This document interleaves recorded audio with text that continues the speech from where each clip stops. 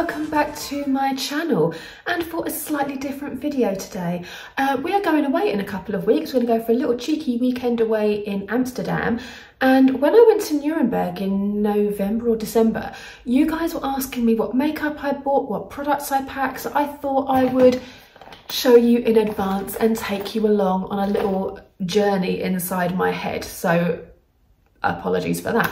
But basically, yeah, I'm really excited. We've been to Amsterdam a number of times, but every time we go, we stay in a different hotel, we try to do something a little bit different. We just kind of like being in the city and just wandering around and be somewhere that's not London. So without further ado, guys, let's get into my makeup bag.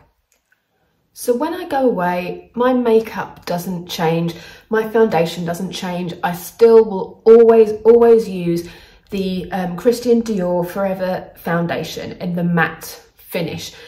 I don't want to take my big glass bottle with me. So I, when I went to Selfridges the last time, the lovely lady in there gave me two samples of it. I am actually meeting my friend to go to Selfridges before we go, so I'm gonna try and nab a couple more. But this is shade 3N, this is the shade 2N.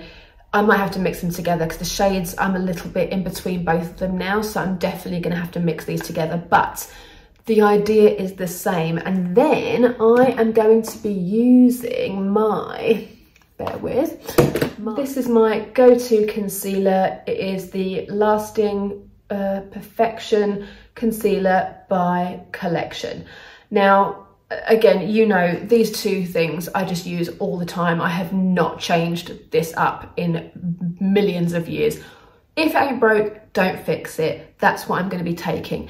The setting powder I'm taking, I'm not taking my Laura Mercier because at the moment I've got the anniversary one I don't know if you guys bought that, the anniversary version of the um, uh, translucent loose powder, but it is literally like this. It's gigantic.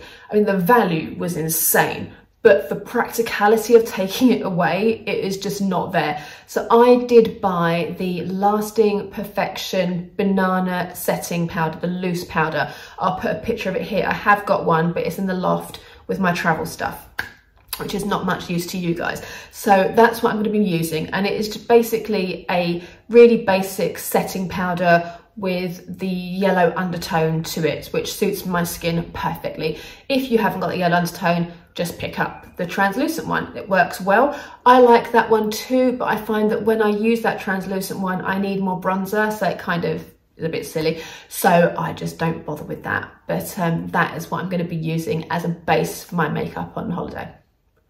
My bronzing powder is still going to be the same. It's still going to be Natural by Bobbi Brown.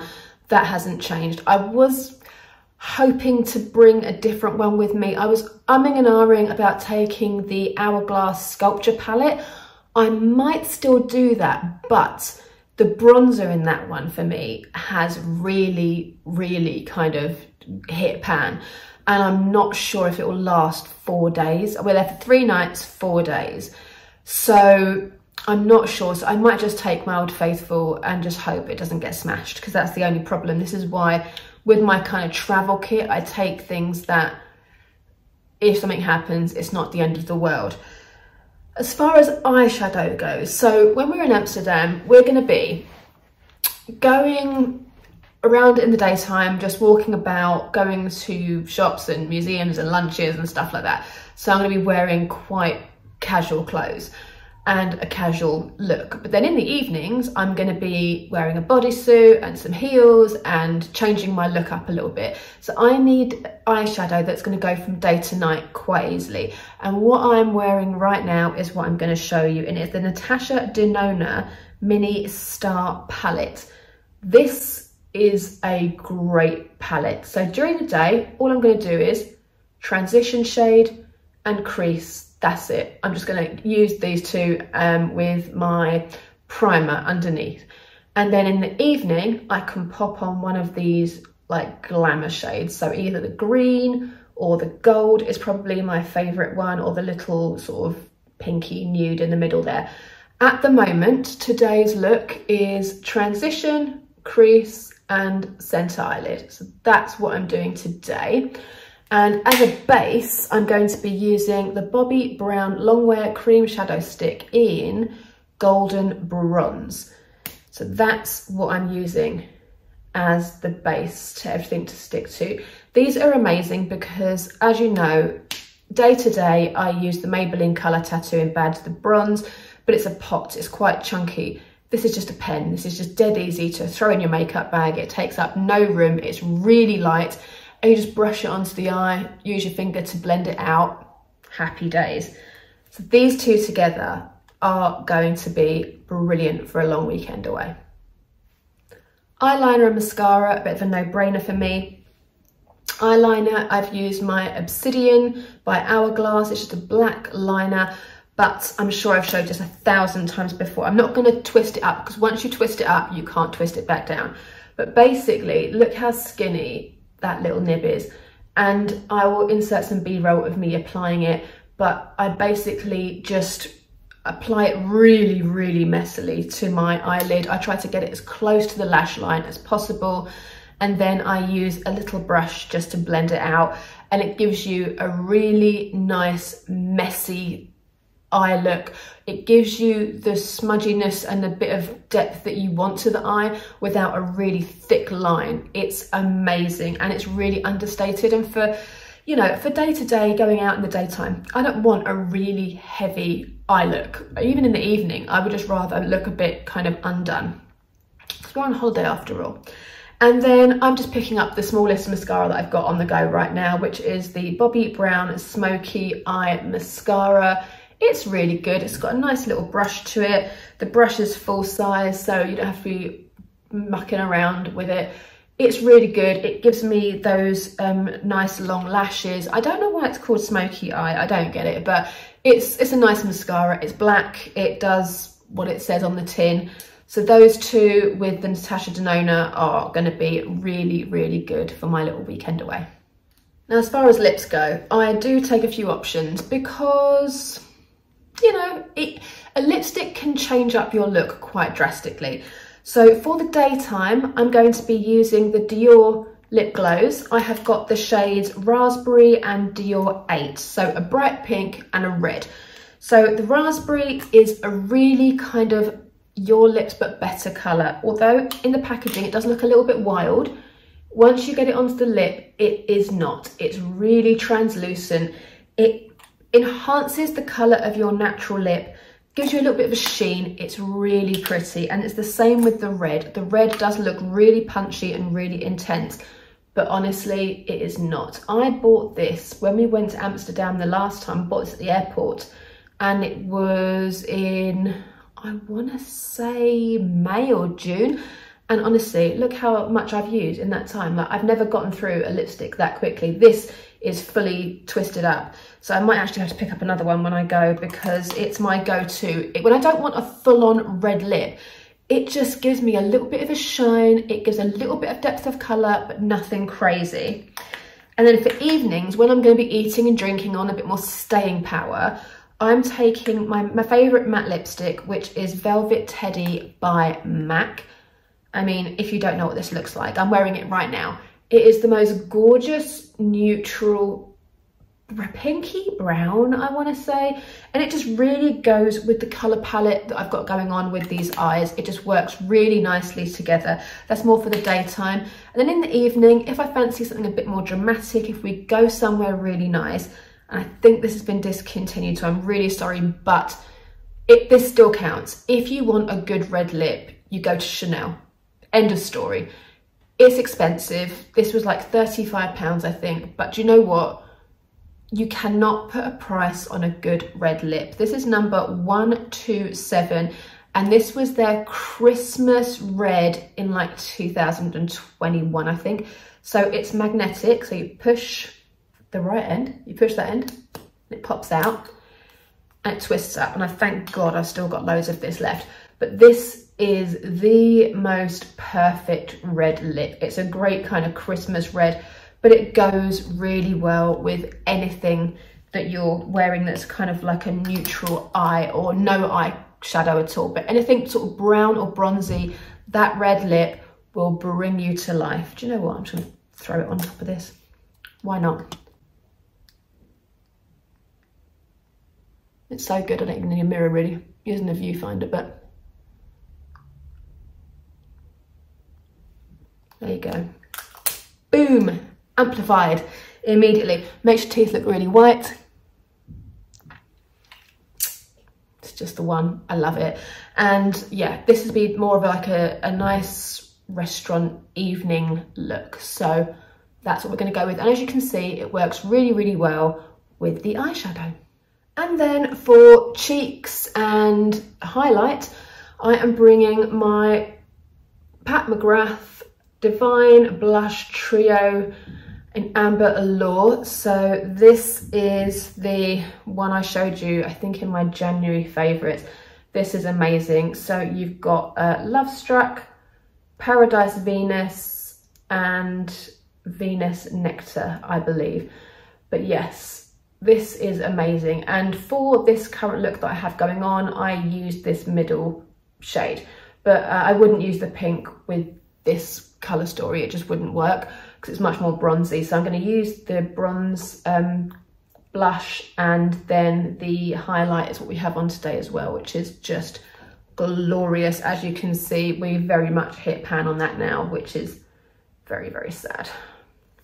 But yeah, I love it. I was trying to find another kit that I could bring that is more kind of travel friendly. Basically, if this broke, I would be devastated but all of my hourglass ones now they're either too empty or they haven't got the things the sort of color shades that i need in them. So this was really the only one that worked with what i'm bringing the rest of the stuff. So i'll just have to be really really careful with my bag.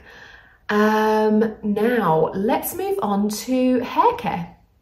I'm not going to bother going into skincare because basically i just decant everything that i need into little pots. So I'll be taking my marine cream with me. I'll be taking my Elemis eye cream, the full size, because I've got the tube again.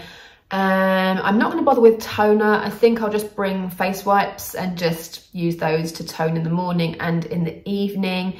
And I'm not going to bring a serum or a face oil because they're just way too mucky to travel with. So I'm just going to go quite basic when it comes to skincare. But I am going to bring these little hair care bits because we are going for three nights. We're staying in a spa hotel, so I'm going to be swimming. And with my hair, I cannot have it discoloured. So I'm going to be taking these little Kerastase samples that I got. I bought a kit on um, Look Fantastic and these were free. So this is the Resistance Shampoo and Resistance Conditioner. It says strengthening mask, but I'm going to use it as a conditioner and it's basically to strengthen your hair. I mean, I doubt anything major is going to happen with these two little sizes, but you know, they're cute little sizes. That'll be enough easily for a couple of washes and I can use that for my following long weekend whenever we go away. And this is a really nice little size for a conditioner. Um, I need to look at how to use it because if it is a mask, I don't have to leave it on for like 10 minutes or whatever, but yeah, these look really good. So I'm going to use these, never used them before. And then I am going to take my Dyson Corrale straighteners. Now these are new, I bought these for myself for Christmas. I absolutely love them. I straightened my hair with them today and as I'm sure you can agree, it looks fabulous. And what I'm, what I would do on holiday is I would just wash my hair, dry it with the hair dryer in the hotel, which let's face it, they're usually awful and then just go over my hair with this. Now with this, it is cordless. So I don't need to, um, I need to make sure it's fully charged, but I don't need to take a cord with me. And it has a flight safe mode. So I can twist it to flight safe mode so that it can be put into the cabin with me. So I'm really, really happy with that. I love those. And that's it. So for clothes, as I said, I'm just gonna be wearing kind of what I'm wearing today for the daytime. I'm gonna wear some trainers and then pack a pair of heels and then just vamp it up in the evening with a bit of a bodysuit. Um, perfume and handbag, that was what I was gonna show you. So I, I always am umming and ahhing what perfume to take but I have a little handbag size of one, which I'm so excited about. And I'll show you my bag that I take with me everywhere when I travel. This bag is my dream bag when it comes to travel. This is my Gucci Soho Disco bag. It's a crossbody, it's a shoulder bag, it does everything. It's really glamorous if you want to go out for nighttime. It's got the beautiful gold hardware, it's Gucci, so it's, you know, nice. But if you're just walking around the city in the daytime, it holds everything that you could possibly want. It is not a small bag. For a small bag, it's not a small bag. Let me show you the inside there. It's quite messy. So I've already got all my sunglasses and everything ready because I am ready for some sun. It's quite nice today actually. And I'm going to be taking my Ray-Bans. These are the Wayfarers, the original 1980s Wayfarers and I had them made into prescription sunglasses so I don't need to wear contact lenses with them. They fit my prescription beautifully. I can actually see out the window and I just love them and I think they're really nice and casual. They're really good for a city break. They look good with your hair up or down. There you go. There's the hair up situation. They're quite glam, but they're quite casual as well. And they're just like the real classic Ray-Ban um, design. I just love them. And then for perfume, I am bringing my 15 mil FM Utique. So the Utique range is the more high-end versions of the perfumes that we sell at FM. This is a five out of five match for Halfeti by Penhaligon's. Oh my God, it's so good. I've got quite a bit left. I'm not going to spray it now because I don't want to waste it. It's so good. But it is an exact match. I went to Penhaligon's and I tried Halfeti and there is no difference whatsoever. This, the Utique range, like I say, is the highest end that we do at FM and it's 85 pound a bottle, I believe this one is. This, not this size, that's for the 100 mil. This one was like 25 pounds. I really wanted the smaller size anyway, because for situations like this, I use this one for going out to dinner. I don't wear it day to day. I keep it in my little bag like this because I usually take this out for dinner and stuff. So it's a great little perfume to have in there. While we're doing this, I'll show you what's in the bag as well. Just why not? Uh, this is a little carrier bag inside a bag. So in case you buy something and you don't want to spend the money on a carrier bag. And my mum got me this when she went to, I think it was when she went to Portsmouth. And it's a, um, uh, I can't remember what they're called now, but the, the boat people, the, oh my goodness, what, Coast Guard people. It's like the Coast Guard Fund or something. So she got me that. Um, this is another thing she got me, which is a great little gift actually. It's a little mirror that you keep in your handbag and it's got a, mic, like a, what do you call it, like a really close up bit and like a further away bit, but it's just really good to uh, have on the go. Scrunchy, because you never know when you're gonna get some wild weather. Tissues, because when it's cold, I don't know about you guys the same, my nose and my eyes run like a crazy person. This is my little key card holder. I got this from Accessorize. It was like six pounds in their sale. And it's brilliant for holding some coins. You can put some notes and some cards there. I take this on holiday with me all the time because I don't take my entire wallet because I just don't need it. Fresh breath spray because you never know. Polos, same reason. And a little hand sanitizer because I'm sure we all still carry these everywhere, do we not? Some plasters and some glasses wipes because you never know if you might have an accident and need to clean your glasses. Also, this, this was made, my cousin had this these made for her wedding. I'm just, don't know if you can see. It's got my name on it and you basically tie this around the bottom of a glass um, so you know that it's your drink. I take this everywhere. I went to my cousin's 18th last week and I had this bag on me and I used this to put around the bottom of my glass and everybody laughs at me but you know what I've never lost a glass in my life and I've never picked up someone else's drink and you don't want to be drinking someone else's drink or not know which drink is yours. Also, I have a little perfume in here. Ooh. Givenchy I'm not even going to try and pronounce that. Le Ditin? Le Ditin? I don't know. Didn't know there's anything in there, so that's quite handy. I've just dropped everything, great. But that's basically what I keep in that little bag, sort of day to day, week to week. And then when we go away, I will just take out a couple of bits and um, put some other bits in. I'll keep my passport in there. And when we go out for the day, I'll have some money and just some kind of, you know, it's a great little bag just to wander around with. So that is basically my weekend away in a nutshell.